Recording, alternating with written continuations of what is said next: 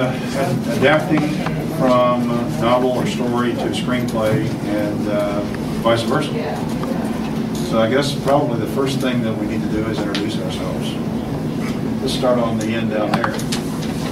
Okay, uh, my name is Eric Wilson, and the reason I'm here is because I actually wrote novelizations of existing films that were kind of uh, small market successes, and so they decided, let's make a book out of this and monetize it in some other fashion. So I'm, I'm the vice versa part that they refer to in the title, I think. Okay. Yeah, I'm so sorry. I didn't realize the previous group had finished. Uh, I've been sitting out there. Yes, yeah. Um, yeah, my name is Maura Heaphy, and uh, I am the author of a volume called 100 Most Popular Science Fiction Authors. And I think the reason I'm here is kind of.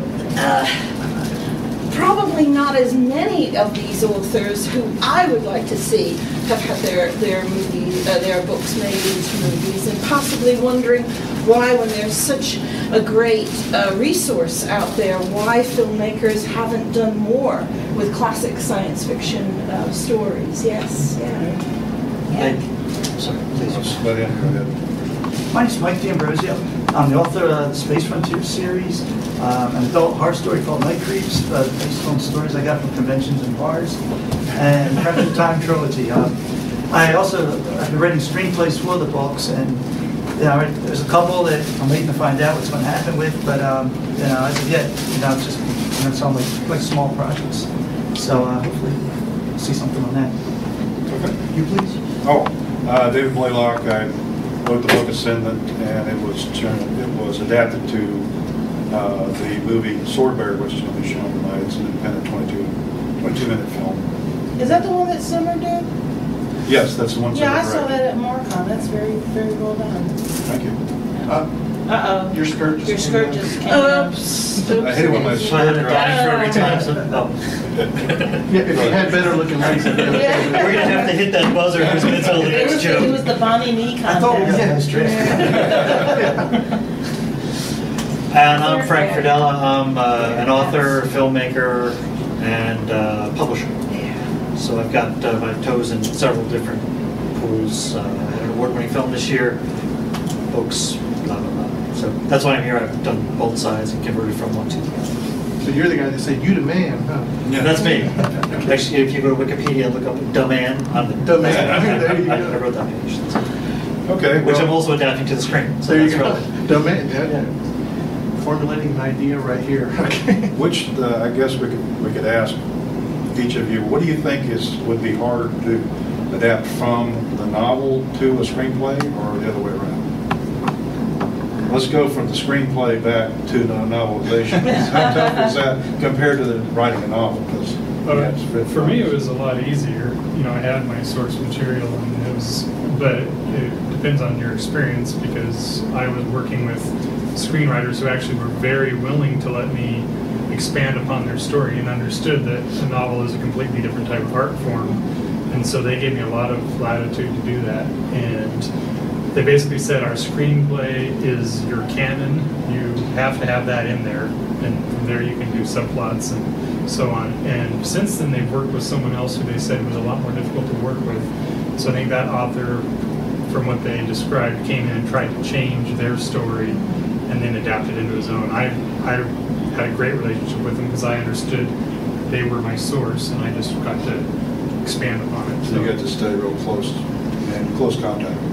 Yeah, I, I stayed in close contact. We actually watched the film sitting on a, before it came into theaters, we sat on a hide-a-bed and watched it on their laptop together. And then they said, what stuff would you want to add? What, you know, what ideas does this prompt? And we sort of brainstormed together. And, and so it was actually a very fun process for me and a lot easier than writing a novel. I did both, or I'd done three novelizations, all three in a month um, each, whereas a novel normally takes me three or four months. So Okay. it was a, you know, an, an easier process. But I, in some ways scarier because I was very aware that there was an audience already built in that would have expectations. So, Translating your own work into a screenplay, Michael. uh, Okay, um, I've, I've been fortunate because I've been able to get some good mentoring from people. Uh, uh, Mark Ruskin and Dean Devlin, when they were with Centropolis Films back when when I first started working on the script for A Fracture of Time. Um, They were able to enlighten me on quite a few things that, about the screenplays that you really have to know. They are two different animals, the books and the screenplay. It's, it's, it's almost like having two more full-time jobs. Um, I think uh, because I've gone from the novels to the screenplays, it's, you really have to go into open-minded, that you're going to have to change a lot of things. Um, There's budgetary things, the number of characters, number of locations, a lot of things, I mean, there's a whole lot of things that come into play. And you have to, it's your baby, but you have to be willing to cut. you Yeah, know, cut bits and- off. And sometimes it's merging two characters, I mean, it- and sometimes it's based on what, what the, the producer wants. I mean, he may say, I want this character to go from male to female, I want this character to be screwed up in the head. I mean, you don't know what you're gonna get. Um, But it's so, it's so hard because there's so much material in a book. And basically, you have to almost break it into a skeleton, like the beginning, a middle, and end, like you have your plot points. I mean, these are the same as if you set the plot points and then you fill in the gaps from there, because there's a lot, like probably eighty percent of the story in the book, you're not gonna be able to use. And then in a lot of cases, the script is gonna be a bit different from the book. And you have to keep in mind that the producer, he has to feel passionate about that script. If he doesn't feel the passion for it, it's not getting made. So uh, going fr- from, from the book to the screenplay is very difficult. And I recently finished a screenplay um, that uh, I actually started doing the novel for it, and I found it to be a heck of a lot easier. Because I, I know novels, and now go from the screenplay to the novel, I could, a lot of the things that I wish I could have put in the screenplay but didn't have the room for, now I can have a lot more fun going into. Um, So, but in that respect, like I said, there's, there's real, there's a lot of things you have to take into consideration. I said, uh, a lot of it has to do with the budgets. Anything that's going to impact the budget, um, you're probably going to hear they want, they want changes on it. And you know, if you understand that from the beginning, it's a heck of a lot easier. So it it took a little bit, uh, it took a little bit of Ron Bacardi to understand. It's not going to be the way I wrote it. And, uh, you know, so far, you know, I've gotten a lot of good responses from it. And uh, like I said, I've been fortunate. I've had a number of producers have actually taken time to sit down, show me things, explain how the business works and things that, you know, that would help me in the future with them. So, uh, yeah, so now I'm in, in holding pattern for two of them to see what's going to happen uh, with uh, a couple of uh, companies that are pretty interesting. I think that you hit upon a really interesting point. There was one word that you used that really kind of defines, if you're a novelist going into this, why it's different for you. In that you have an unlimited budget. You can write set pieces that, I mean, you can write those all day long. You know, that whole scene with the Balrog on the bridge with Gandalf, you can write that stuff all day long. You know what I mean? But if you're going into the independent film market, that film's never getting made. No, not at all. You know, so I mean, that's definitely one of the things where, like, especially if you're doing the novelization of it, I mean, it's like, well, that's easy. You know, like, they already had the budget, like, you're just, you can ramp it up, you can put in stuff that they didn't have and, and take that up a notch. But you can't go the other way. In my case, I had, uh, had readers read the book not realizing the movie was my source material, or the screenplay was the source material. And they'd read the book and say, oh, I wish they had included that in the movie, but probably because of the budget, they couldn't. And I give them no idea, well, actually, I added that to their story, but, Right. but that's why I was able So to. does that answer some of your question as to why some things aren't being? Oh, absolutely, yes, uh, yes, and I, I think, uh, you know, it is, uh, it is a problematic thing in terms of the scope of imagination that you've got with some of your classic science fiction authors, you know, that, uh, yes. Well, I'll yeah. say that the, uh, the other thing that immediately went to my mind when you were asking why more of these things aren't adapted, Mm, mm. and this was the thing that was very different for me coming into, into the film industry, was that I was under the impression that we were in the business of making movies, and that's not so. We're in the business of marketing movies. Right, right. And if I can't sell it, I'm not gonna get funding for it. Mhm, mhm. So, I mean, if I can slap Philip K. Dick's name on something, yeah, yeah. You know, everything Yeah. from the Minority Report to Blade Mhm, Runner, mhm. well, I can get funding. Yeah, yeah, But yeah. Richard Matheson, fantastic author. Mhm, mhm. And like they did I Am Legend, which Yeah, was, yeah, yeah. but they're not touting that as Richard Matheson's I Am Legend. No, no, no. Like they do everything else as Philip K. Dick's so and so. So, I mean, that's, Yeah. that's a lot of why that's Yeah, not happening. They can't sell it. yes, You know, yeah. they're in a, they're in a pitch meeting with producers out in Mhm. California and it's Mhm. like, you know, we've got this great science fiction story. Yeah. Um, You know, one of my favorites, like, uh, uh, The Cold Equations by Tom Godwin. Great short story, would adapt very, very well. Matter of fact, they, they ultimately did adapt it for the Twilight Zone. Yeah, yeah. But you walk into a, a meeting like that and say Tom Godwin, no one knows No, what you're talking about. yeah, yeah, yeah. So I mean, it's it's it's not what you can do; it's what you can sell. Mhm, mhm. So you're saying even if in the writing world, somebody's got somewhat of a name, but you go into, you know, big producers and people, whatever else, and they don't know that name, that's gonna affect your budget there. I mean, they, they're not gonna check into, oh, in the literary world, this guy's like, you know, phenomenal. Well, the thing is, is that there are, you know, the- these people have people who whisper in their ear. You know, if I walk into a meeting and I want to pitch a, a, a project for DC Comics, or let's say the old Wildstorm, you know, Jim Lee was the creator of this particular character. This suit might not know who Jim Lee is, but the guy sitting next to him is going to lean over and go, "That's big." You know, Yeah. that Jim Lee's big. He can sell. You know, like Jim, Jim Lee by name alone will sell something. You know, I, Yeah. you, you can get, I could sell Jim Lee's cocktail napkin. I could sell that all day long. You know, but you know, it's the reason why Alan Moore, like every single thing that he's doing now, is being adapted. You know, the Mhm. League of Extraordinary Gentlemen started off, then there was Watchmen, and V for Vendetta. I never thought I'd see V for Vendetta on the screen, Yeah. except that he had already done other things, and he was becoming a well-known property in Hollywood. They knew they could sell it. Yeah. So do you have anything that, I know you've got a screenplay waiting for, waiting in the wings, as it were, but do you have anything that you would like to produce as a screenplay or as a novel that you're hesitant to do because you're afraid it wouldn't go across the way you feel like it should? I think probably the hardest one was probably the, the adult horror one, Night Creeps, because I had to modify that quite a bit. Um, and it was a little different for me, because most of my stuff is written for young adults on up, so it's relatively clean. Um, you know, Night Creeps has a lot of some some coarse material in it, and it's a side of me that I don't norm, I'm not used to showing. And uh, my biggest thing was you send it out there, and somebody says, "What are you, some kind of freak?" You know? and uh, it, it just seems like it's, it's as big a world as it is. It's a very small world, and it's easy to get reputations for being good at things, and it's also easy to get a reputation for being bad at something. Um, Do you have trouble writing, I, I have a problem with um, writing something that I like.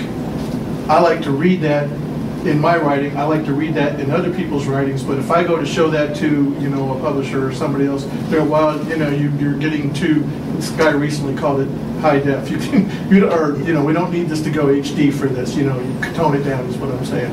And, or, you know, smooth it over, whatever else, not quite so bold and in your face. But I like to read bold and in your face. And if I pick up somebody else's book, I want to read it there too. So what, what do you do with that? Because that really almost seems to be one of my biggest problems. It's like, tone this down. I don't want to tone that down. You know, I, I want it to blow up in your face. And, you know, That's where you have to, you have to research your publishers and your producers before you submit to them. Um, And like you probably know, it's like, I mean, if if you, if you like to do certain types of movies, and some, if if you, let's say you never do comedy, you do everything else but comedy, and somebody keeps sending you comedy, Right. it's like, I don't do comedy, I don't want to do Yeah, comedy. Um, I like to look, look these people up, see the type of things they've done, and I'll, I'll look and see, like, eh, eh, you gotta be honest with yourself. Sometimes your material just doesn't fit somebody's agenda. Right. Um, sometimes your style, like you say, for the type you like, uh, some producers aren't going to do that. I mean, Quentin Tarantino likes in-your-face stuff. Yeah, yeah, So I mean, somebody like that, but that's and, and, type- and Quentin Tarantino is like, you know, phenomenal, right? He's like, everything he does is almost just about going to make money. It can So why don't more people can be pick up on that, that in your face makes money? What, you know? Well, Do you know because it's a special market, it's it's a specific market. The Market uh, is what drives the industry. Yeah, Quentin Tarantino's stuff does not appeal to the same people who go to see uh, Twilight. Twilight, or, you know, uh, what is it, uh, fr- uh, deep fried tomatoes or whatever. Fried Yeah, green yeah, yeah. tomatoes. Fried green tomatoes. Uh, You know, every market has its particular niche. Right.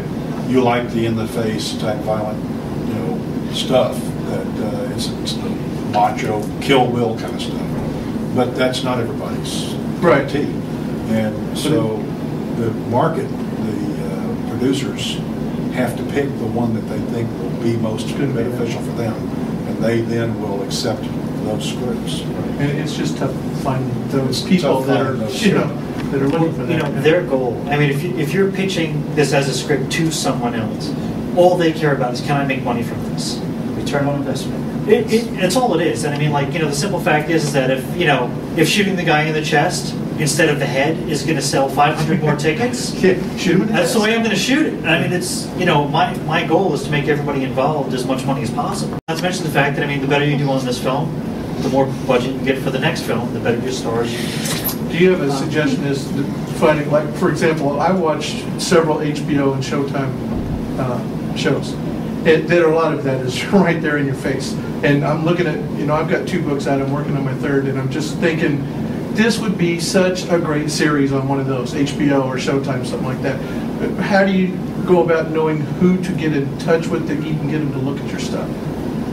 That's all. That's a tricky thing to do. Yeah. That's tricky. There's, That's all shaking The hands and kissing Yeah, babies. it's networking, all, Yeah. everything is networking. Right. From the time, whether you're writing scripts, whether you're writing poetry, or whether you're just writing, mm-hmm. you know it's all networking. Oh, It's yeah. not, it's not pretty much what you know, it's who you know. Right. But you gotta know the right group to go and get to know. But Yeah. you gotta do some kind of research. You gotta- Well, I'm just, you know, Makes throwing it it out there. Hey, if you I'll you say guys know though- somebody, you Yeah. One of the things that I'll say is that, I mean, like, you know, if your work is, is so unique or so in your face that it's like, you know, But it's not overly, well, I it's mean, got like, certain scenes, you know, you it's not like the whole thing is. are you familiar with the artist Art Crumb? Anybody? Yeah. Art Crumb? Yeah. Okay, I don't like his work at all. But it's really unique. And it's like, you know, that is certain, that's a strong cup of coffee. That's, you know, you, you gotta acquire that taste. But people who like it really like it. You know, but finding someone to publish it is something else. Now, if you want to make your own way, that's one thing. Like I made my bones by doing superhero prose.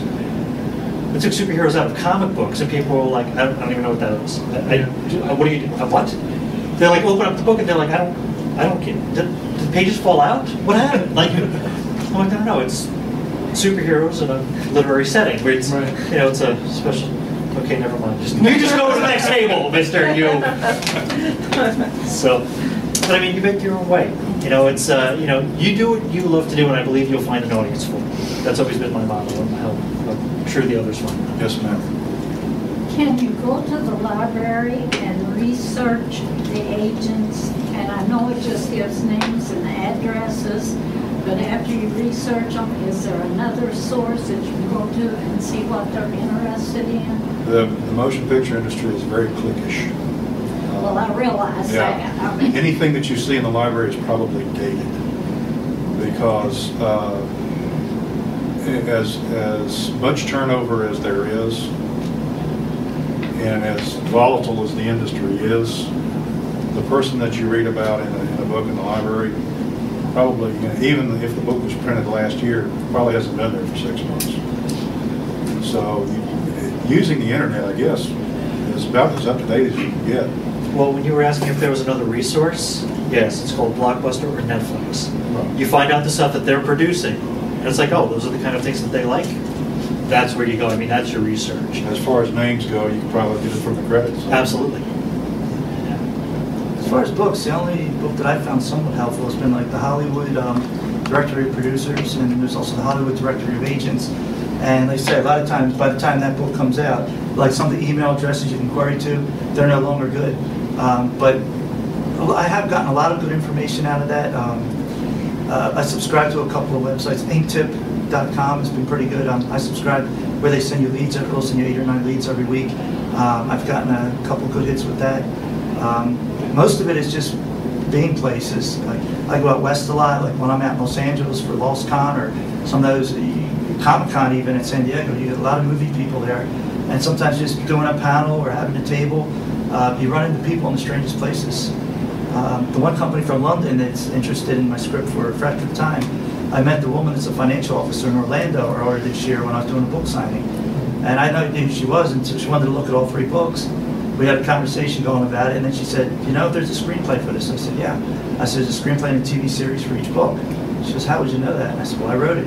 And then she starts, she starts telling me who she is, and I'm like, holy crap. and all, so, uh, so that's kind of got this ball going for, for this book right now. Um, but like I said, going out places and networking, um, you know, some, you'd be surprised the people you can talk to that, you know, sometimes they know people, sometimes uh, they're related to people. You, you just have to be there. Yeah. The conventions, I, I actually, two years ago, went to a film convention and just recently signed a deal with a guy I met at that film convention. years ago? Yeah, you know, and we had kept up with email and just, I mean, it wasn't anything pushy on either one of our ends, but it just, we kept the relationship. And another guy, I went to a film screening at Vanderbilt, I live in Nashville, and I went to this film screening, it was a film that seemed interesting to me, and and I met the guy who had done the, it was the director of photography, and we ended up finding out, we lived fairly close to each other, we got connected, now we're going to Destin next week together for vacation with our wives. I mean, you know, it's like, like Yeah. these connections, and then you never know where they're leading. And you can't, I mean, for me personally, my style is I can't go into it thinking this is gonna lead somewhere. It has to be a true relationship that I'm gonna enjoy, whether it ever becomes professional or not. Some people are better at that marketing side, but I, I have to feel genuine about it, otherwise it comes across ingenuous, I guess, or disingenuous. Yeah, I had a question. What was your name again? I'm sorry. Mike, Mike. Mike Uh, when she was asking about that, I have a friend named Gina Ellis who writes screenplays. And I had done that script frenzy thing and written um, a modern answer to Looking for Mr. Goodbar. And, um, and she wanted me to put it on some website, and it was Ink something, and I was wondering if it was that Ink Tips. Ink If you had written a, a screenplay, you could pay like ten bucks and put it on the website, and then um, Independence, and sometimes the big boys actually will browse through there and read your log line and stuff. Have you ever used that for, you, Yeah, you know what, which, what it's called, because I can't remember, I've got it written on my computer. inktip.com. Yeah, And uh, they also have, like, so you can have that reposted, you also have where, um, I think, I forget what they call the other program they have, where they actually send you, um, every week I'll get like eight or nine leads, different companies, what they're looking Okay. for, and if any of mine fit that, then I can, I- they give you a code you log into, and you can tell, you know, basically you can send them a short okay, so that's the one where you can actually post your screenplay for people to take a look at. Yeah. Are you registering your script with the WGA before you do Well, I haven't done it yet because um, it has a montage in it that I'm not satisfied with, and I was waiting and I was going to talk to my, because she has, she's won some awards. She did a thing called Angela's Decision that was done by an Aussie company. Um, and I can't remember, the star is now doing something big in Aussie TV that was in that. It was like her stepping stone. Yeah. And Gina's real active, and I was going to go back to her and ask her about those kind of things before I did anything else. But I, I, there's one little piece of it I want to work on before I send it. And I think, I'm afraid it's going to get picked up by a porn company because it's, it's got, it really, it's got an, an awful lot of stuff that it could just be turned into a pornographic film, and I haven't decided if I want to put it out there. Because if, if you all remember looking for Mr. Goodbar, it was pretty hot at the time. Right. And mine is hotter because of- times have changed a little, so. Well, whatever you do, my advice to you, for whatever it's worth, is simply protect yourself at all times. Oh, Um, sure, I'm a lawyer, I The- I actually yeah, of knew The second I write Fade to Black on, on on my first draft, I upload that script to the WGA. And if I make a revision later on, I re-upload and I pay it 35 bucks again. Like, Yeah. I cover myself at every step of the way. And you don't have to be, you just pay for it, you don't have to be like a, a member of a group or something to do that. No, no, no. No, they're there to protect the writer's rights. You know, even people who aren't a member of their organization, you're paying, I mean, you're paying to register the script. This way, if, you know, that movie gets made two years from now, you're like, wait a minute, that was my script. Uh, How do you prove that? Yeah. Well, I have my WGA registration number from two years ago. That's how I prove very rare that anybody would actually try to steal script, and I didn't, you know, because the repercussions of that could be really bad for a company. But uh, the one that comes to mind was Syriana, George Clooney's company. Um, One of his employees, a girl sent his girlfriend from Australia, sent the script in, and the guy was getting ready to quit. Took her name off of it, didn't change anything, put his name on it, and uh, they made the movie, and that became a big deal. That went to the world court, and uh, Clooney's attitude about it was, wait a minute, he goes, I had no idea. I mean, he, he didn't want any parts of, of anybody stealing uh, any kind of property. So he was more than happy to compensate her to take care of her and all. And uh, I believe they went after the, the, the ex-employee, you know, uh, for the whole thing for fraud, uh, theft and all. But uh, that was the case where, I mean, it's somebody famous that we all know. And, it, you know, that occasionally it does happen. But you know, like the, it's, it has to be the actual script, because I know, uh, I don't know if you guys are familiar with Sandman Slim by Richard Kadrey. Really cutting edge, dark fantasy, it's great stuff. And, uh, they did, Nicolas Cage, when he's doing all these movies, did one that was, that was conceptually the same character. Was called something different and the script was, was different, was similar but different. And I'm like, God, they just, they just ripped off Richard Kadrey, but of course he had not written a screenplay, he'd written a novel, and it was different enough and they didn't steal the name of his character. But when I went to saw that movie, I thought, God, this just There's- really sucks. But you know, but you can do that. that, yeah, you can do that, so. Somebody must have read, but I'm sure that somebody read Sandman Slim and went, damn, that would make a fine movie. and When, when Lost script. first came out, the first episode of Lost, that night I must have got 300 phone calls from people that said, they stole your story. And Yeah. I'm like, what are you talking about? And, uh, and when I went back and I got a chance to see it, I'm like, that's not really, I mean, it, you can think hard enough that you want it to be the same, but, I mean, realistically, I mean, there's a lot of stories out there that people, with so many people writing, there's gonna be a lot of similarities. Parallel evolution. And you just have to be. Happens a lot. You know, it's, It's even happened to Darwin. Yeah. Yeah, and there's Well- always a chance somebody, maybe they did copy a character, but you know, it- unless it's really blatant, like in the case of like with Siriano, what happened, uh, yeah, where it's the whole script, it's not worth the time and money to fight about it. Right. You know, it's- Something Well, you like know, they have it's- Forrest Gump, I don't know about Forrest Gump, but one of the things I did find funny was that, I mean, after the fact, if you ask George Lucas or Steven Spielberg, that scene in Raiders of the Lost Ark with the, with the idol and the sandbag is from a Scrooge McDuck comic book from the 40s, which they had read as a kid, and they were like, just always remember that they put it in the script. But it's lifted bodily. I mean, these are the guys stealing. I mean, it's George Lucas, and you're like, are you kidding me? But yeah, I mean, it's it's inspired by. it. It's not stolen. Yeah. Well, that scene was like in the Transformers too. One of the Transformers, they had almost that identical scene. And I'm like, good God, this is, you this is Raiders of the Lost Ark. Well, now, now though, of course, it's an, an homage. Exactly, Now, exactly. people look at it and either, you know, think of the uh, Indiana Jones or the Scrooge McDuck, you know, whichever. Well, But I think that your yeah. chances of success are better if you're if you're stealing up, as opposed to like um, I was uh, a while back. I was reading a, uh, a comic book for Battle of the Planets, and I was like, I loved the, the cartoon when I was a kid, and I was like, they made a comic book out of it. Let me see. The art was great, and like they lifted this scene from Watchmen. And I'm like, you can't steal from Watchmen without people knowing. like, if they had stolen from Battle of the Planets, nobody would have noticed. But you can't steal from Watchmen. What are you, what are you crazy? So yeah, you gotta, you gotta make sure which way you're stealing. I'm curious as to, I mean, there's a couple of you in here, and just why, what prompted you to be here? Just, it was a place to be, I mean, I know a few of you have mentioned you have something you're wanting to pitch, or Well, this is- this what is- other reasons are there? This is the first time I've been to a con, and Steve Zimmer Welcome.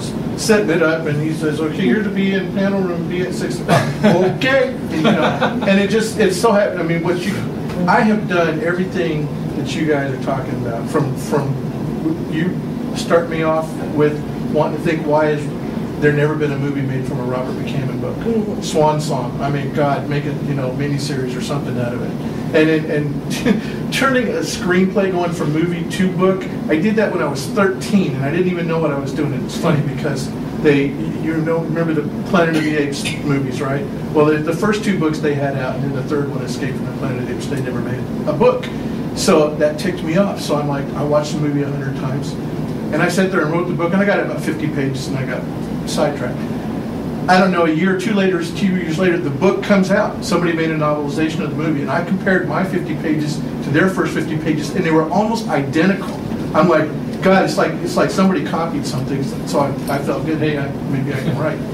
And and the whole thing going from books to um, my books to screenplays and the whole thing. So it worked out great just being here and hearing you guys talk about it. And because I'm like, I have tried every bit of that, you know. And I, I- mean, I'm more into horror fiction, Stephen King kind of thing is, is what I'm working over there. And I'm hearing a lot of science fiction, and I know that that goes on. And I guess I'm gonna have to start reading some science fiction. Um, Or not. but well, No, no, no. yeah, but it's, it's getting do. hard. Yeah, my book. I got a book about. I, I make the guy a warlock only because I wanted somebody I could freeze at a certain age and then take him through time. I didn't know how else to do it. Well, I'll call him a warlock. Well, I'm having every fantasy person, whatever else, come over. Oh, a warlock, and is, and is, is there a dragon? Is there this? That?" No. This is a regular guy, you know, just going through time. He, he meets up with Jesse James, and he runs with Bonnie and Clyde, and he does all this other kind of stuff, you know. And, so I, now I'm wondering if maybe I shouldn't have made him a warlock. But it, but I need to read that other stuff so that I know, Well, you know, where the, where the crossover is and what's going on. Heinlein had a character called Lazarus Long. He's one of the oldest men, oldest man in the universe. Mm, Oh, yes, yes. Lived forever. yes, Yeah. And he was the, the scion of a, of a line that had been developed over centuries. They had lengthened their, their, by genetic Mhm, mhm. choosing, They had picked the longest-lived people to have children. And eventually, it clicked, and you got Lazarus Long, he just lived forever. So that, that's how Heinlein got around that particular. Yeah, and I keep Oh, hearing yes, about Highlander yes, too, and I- it's like, yes. I gotta read that too. I- I- There's a lot of, I have to read, and I Yeah. s- spent this last year working my way through Robert McCann. It's like, I read him and I loved, it. it's like, okay, I have to read everything that he wrote. you know. You know, another thing too, though, you have to be a realist with the genres, with what's, what's hot and what's not. Um, science is always going to be a tough sell. Um, horror, it seems like Zombies are hot. horror, is- horror it goes in spells where it can be really hot. Do, do you really think science fiction is, is a hard sell? Because what I'm noticing at the moment is there are small, I think, I think you're right. Back when CGI was, was, was kind of controlling things because it could be very expensive.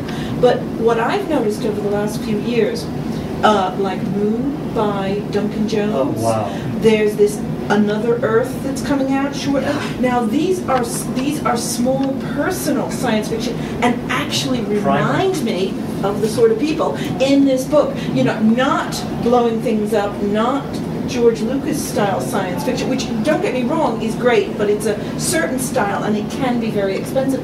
But the kind of stories like like the ones you're referring to, and like the like the sort of Heinlein stories you're referring to, and I sort of wonder if that might be the salvation of science fiction in the movies, that it doesn't have to be all huge budgets. There's gonna, there are gonna be fads in movies, The- the things are gonna be hot. Right right now, zombies are hot. Mm, Yeah. Vampires were Oh. I got a Walking Dead book too, if you want to check it out. Okay, Read it great. right up front.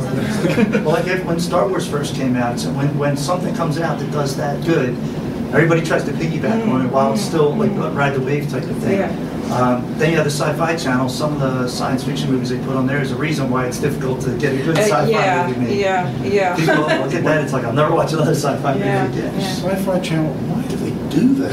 Why do they call themselves a sci-fi channel? I don't know, where, where, what Well, does now they're SYFY sci-fi. Well, because it's actually cheaper for them to produce that stuff than it is to license Yeah. Terminator 2. Yeah, I can Yeah, see that, yeah. that's for You sure. know, They just you well can enough to make money on it. Sharktopus for, you know, shark, shark, you're making that thing for fifty thousand dollars over a weekend, as opposed to the half a million dollars in, in royalty rights you got to pay for for a James Cameron film. Yeah, yeah. Yeah. Um, how many people here saw Primer?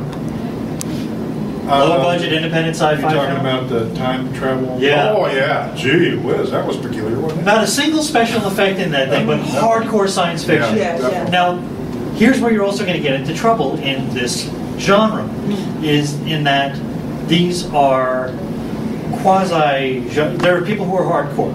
Science fiction, technically, is anything that takes a known scientific principle and extrapolates that what might be. First science fiction novel, Mary Shelley's Frankenstein. She knew that electrical impulses powered the body. She figured if she get this guy enough juice, she could bring him back to life. Science fiction. Whereas something like Star Wars, faster than light travel, that kind of thing, that's pure fantasy. It's fantasy. It's got it's a set dressing. It looks like science fiction, but it's Camelot in space. You've got a white and a black knight. You've got rescuing princesses. I mean, it's Camelot in space. I'm sorry, you had a question? I was just going to mention another independent film. Has anyone seen Hunter Prey? No. You must see it. Well, Independent film. It's actually available on Netflix. Okay. Um, I'm, I'm, not, trying to think if it was a was an Australian company did it. No, I think it was a U.S. U.S. But um, same thing. Fairly low Jump budget. down. No big science fiction special effects. Just wonderful story, One of the acting, best scripts. filmography. Hunter Wonderful Prey. writing. I actually, I watched it on Netflix, and I honestly kind of went into it thinking it was going to be one of those cheesy B movie ones, because i'm like those. I mean, they have a place in the, in the world, and I are like fun. them. I like them. And then it just blew me away. Hun- Hunter slash Hunter, Prey. Prey? P-R-E-Y. Two words. Yeah, Yep. yeah. Just, fa- and it was one of those where, like, I, if I was writing it, this is what I would do, and then mm-hmm. they did it. You know, it was like, oh, it was just fabulous. I'm going to take a quick left turn here. Just talking about great script. Get your hands on some South Korean cinema. And I say that because they have no budget at all. They are just now starting to make their foray into the science fiction market, but because they have no budget, they have to tell a good story. They've got nothing else to fall back on, so they have to write a good script. And like, without fail, every time I've watched a South Korean movie, I've been like, this is great. Yeah. This is fantastic. Matter of fact, that uh, that horrible remake that they did, um, The Lake House, Keanu Reeves and uh, Oh, Sandra yeah. Bullock, is actually a South that- Korean film called Quite- Omara. Yeah. Oh. Some, Great film. some fantastic martial arts films, Korean films, that have incredible scripts. It's not just an action film. Did you see Well, I, Remember what it I mean. China is doing great stuff. The Departed was actually a remake of a uh, of a Chinese film called Infernal Affairs, and that's actually a film series over there. They have uh, Infernal Affairs one, two, three, and four. Notice that they're going overseas a lot. I mean, from The Ring, you know, all the way forward for the horror movies, uh, they've actually started tapping Japan for all the horror Oh, yeah, movies. I don't, You know. I was just really surprised that uh, that um, Martin Scorsese got an Academy Award for Best Director for The Departed. When it's, I, I swear to you, almost literally a shot-for-shot remake of the Chinese film. I'm like, how do you get an Academy Award for copying somebody else's?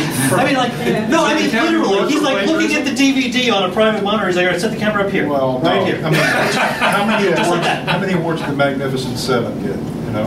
And that, all that was, was the Seven Samurai. Right. In a Western setting, that's all that was, so, you know. Adaptation from screenplay to screenplay. There you go. So, anybody else got any questions? How much more time do we got? Any answers? I do like that you're talking about story because to me that's the bottom line. The novelizations I did were small market successes, but the one of them was made for under a million dollars and made 33 million at the box office. Nice. And and the bottom line to me is just a good story touches people, and it, like Moon. I mean, it may not make a you know ton at the box office, but for what it was made for, it was a mm-hmm. success, Yeah. and it connects with people because it's a good story. And I, I mm-hmm. I love to see people sitting here hoping that you guys will catch that passion for good story, not just oh, if I get a big budget, I can blow things up. I mean, I, I The could do science, the science fiction that I remember, uh, the movies that I remember, are movies that, that weren't great successes. Mm-hmm. You know, like Destination Moon. It was written by Heinlein. Yeah, yeah. And it was, you know, it was a, it was a box office flop, but mm. I loved the movie. Mm, mm. But I love science fiction. It's I grew up loving the movie Rollerball. Mm-hmm. Oh, James, the original. wow. Oh, yeah. Yeah. A short story by Richard Matheson. Yeah. You watch that movie, and you'll see that the places where that movie falls down mm-hmm. is when they were trying to expand the short story into a feature-length Yeah, film. Yeah, yeah. It's like the rest of the movie is great, but it's the places where they're just kind of trying to fill in. Like, I don't know, let's go to the library. But you also look at the time it came out, it was like a little bit ahead of its Yeah. time. I'm not kidding. You went to the Yeah. library. Of course, what you were saying about Destination Moon applies to Blade Runner, of course, which Yeah. now, of course, you know, you've sp- spoken in hushed tones. But when it first came out, it was a flop, you know, and it took a long time for critics and certain parts of the audience to really kind of get its head round what Ridley Scott was doing and how he was doing it, and possibly to the Philip K. Dick, you know. And now, of course, as you say, slip probably smack his name on a on a, on a screenplay, and you, it gets you through the door at least. you Is know. it safe to assume everybody here has seen Blade Runner? Has anybody not seen my? Okay. All right. When you, now, when you think of Blade 10 Runner, times. well, now when you when you think of Blade Runner, you have this very clear image of its look, right? Mm. The dark, rainy mm. whole thing, right? Budgetary restriction.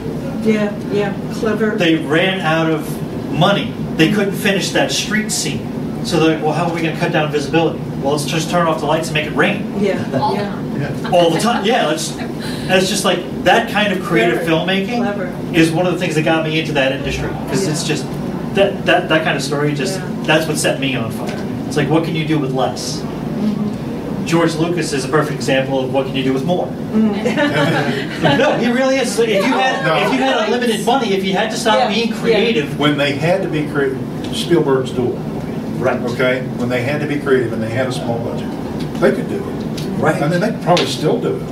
But they're given unlimited money Yeah, I was, uh, I That was was just, like- uh, just thinking. That's one of the Lucas's best, THX T- 138. Yeah, Yeah, they just you know. won 38. This is the difference between Raiders of the Lost Ark and the Crystal Skull movie. Okay? In that first film, look, I don't care how much money you've got. My problem with that last film, aside from story, aside from the refrigerator thing, was the fact that you had 10,000 digital ants eating somebody alive that we Yeah. all knew weren't there. Raiders of the Lost Ark, you had one giant styrofoam ball, but that thing was there. Somebody was actually running from it. Yeah, yeah.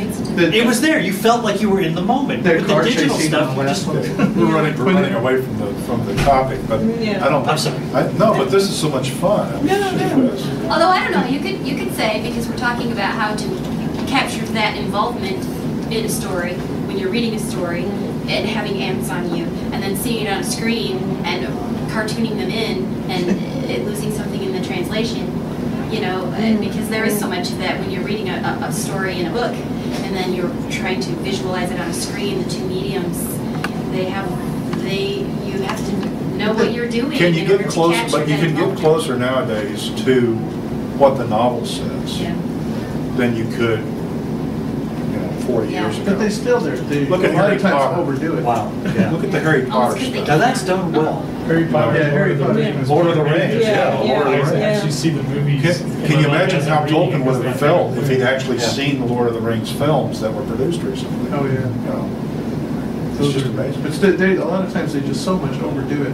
And my, my problem with the computer animation or whatever it is that they're doing is when they, they have big characters or characters that are leaping and jumping and doing things, you do not feel the weight. I don't feel, you know, when I, this thing is hopping from here to here and this thing weighs like a thousand pounds or five hundred pounds, and he's like hopping like it's nothing, and I'm like, I don't feel the weight of this person doing these kind of things, and that really irritates me with a lot of them, most of them. They don't, they don't factor in the weight of the character that they're making hop and jump around, and it's just, you don't feel it. Is, is anybody here interested in actual making films? Filmmaking? Okay. Uh, If you haven't already, the- there's a couple of books that I'll recommend to you. First and foremost among those is uh, Rebel Without a Crew, Robert Rodriguez's book. Um, One of the best pieces of writing advice I ever got was in that book. So when you're sitting down to write your screenplay, you take just a legal pad and write down everything you have access to and nothing else. Like if you know your friend runs a bar and he's willing to let you shoot in there at 3 a.m. after they close down, you put that on the list. But if you don't, you don't. You know, if you've got a 65 Mustang, if you've got a blue turtle, whatever you've got, you put it on the list. And when you start to write your script, you don't put anything in that script that isn't on the list. And that's it. That's your budget right there. And when like you look at Desperado, it's like El Mariachi. It's it's what he did. You know, he worked from his list, and it's like that is creative budgeting. And like you know, he he went on to do fairly good things. Mm-hmm. Can you do that the other way around though? It's like, because I've, I've written, I've written five big screenplays. And I've got a, a local filmmaker that he's, he's done one or, he's done a couple and we're talking about doing another one. And so I'm, I didn't write mine for him to do that. But I thought, after I wrote him, I thought, hey, I've got access to this guy and we've done some stuff. So what could I take of mine and downplay it from what I wrote? Because I wrote, you know, your big Hollywood thing. And I've done that. I mean, I've got one script that I'm looking like, okay, this is what I wrote, but how can we do it? Well, we can do it if we take this down and make it this and that. And I basically did what you're saying, only just the opposite backwards. Well, I say, Right. I'll I'll tell you, the first script that I had optioned um, was, I wrote it specifically so that it would be $800,000 or less. Because I'm an unknown quantity. Uh, You know, people don't know my name to go to the theater, you know? So I, I gotta give them something that the story's good enough, they're willing to take a chance on. It's only got an $800,000 budget or a million dollar budget, they're gonna get some, you know, some soap opera, soap opera star to, to do this over a weekend, he's gonna do a walk-on part, you know? But it's like, if you're trying to pitch this script for someone else to produce, you make it as easy a decision for them as possible. It's like, here comes Michael with a million dollar script, and here comes you with a $10 million script. He wins. Take his and build it up. Yeah, well, I mean, it's, you want, you know, yeah. just a matter of uh, Kevin Smith, when he was doing stuff, like, he did Clerks famously for $50,000 on credit cards. When, by the time he got to Jay and Silent Bob Strikes Back, they gave him a $15 million budget, and he was like, why? I don't, I don't need $15 million, it's, it's dick and fart jokes. Like, I, like, what do I need a budget for? And they're like, well, their thinking literally was that with fifty thousand dollars, he made fifty million dollars. Mm-hmm. If we give him more money, mm-hmm. he'll make more money. Yeah. Exponentially, it should grow. Exponentially, it should grow, and that's why Jay and Silent Bob was a flop. Well, it's not the only reason, but And it was a bad movie, that's one. right, it was bad. movie. But I mean, like, they he made it very easy for them. Like, if you look at him historically, Kevin Smith is one of the greatest filmmakers of our time. He is one of the most successful filmmakers of our generation, simply because he makes films for less than nothing and he makes a ton of money from it. Studios love it. Which is what George Lucas did with Star Wars. Right. Yes. And sometimes too, you can be, you can get too good at it for your own good. Uh, when I did the script for the Eye of Icarus, I sent a submission to uh, the Eisenberg Media Group. Joe Eisenberg, uh, he calls me up the one day, we talked for about an hour, and he said, you know, he said, what made you write a story like this? I said, well, you know, I always liked Independence Day, all the different subplots, everything they had going on, and I said, and I thought, I knew I could write something like that, you know, with that kind of complexity. He says, well, guess what? He goes, nobody's going to make it.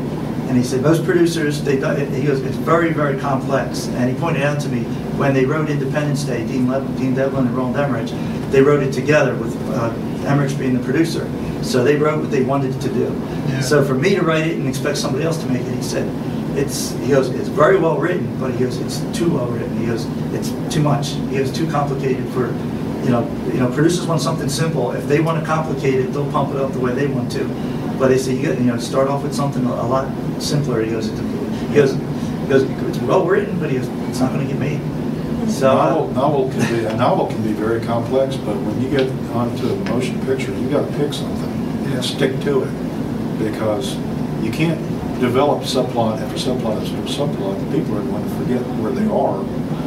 In in a novel, they, they can follow, they go back a page. you know. Could, could I, could I ask a panel whether you think the success of a Game of Thrones might make a difference to the way people look on fantasy and science fiction? Because that's a very complicated story, and that, you know. Um, Yeah, if they killed off people, I wonder. He shouldn't have done I that. think Game of Thrones is writing the Lord of the Rings. Yeah, wave yeah. Myself personally, George R. R. Martin, George R. R. Martin is an excellent writer, one of my favorites. At a known quantity. But, um, you know, I think it's just because the Yeah, Lord of the yeah. Rings kind of thing is hot right Yeah, now. yeah. Harry Also, I'll say that HBO has a great track record of producing miniseries that do mm-hmm. very, very well. If you, have you ever seen Rome? Mm, Oh, yes, Oh, oh, excellent, excellent. Rome was one of the greatest things I've ever seen on Yeah, TV. yeah. I was amazed at that. Yeah. Although I don't understand why everybody in Rome was speaking with a British accent. Yeah. That should have been like the cast from Goodfellas and Togas. hey, yo, what are you kidding me? You two Brutus, get out of here. That should have been Rome, right? They're Italian. Absolutely. Give me a You talking to break. Forget about it. You have a That should have been the Senate. What do you think? Forget about it.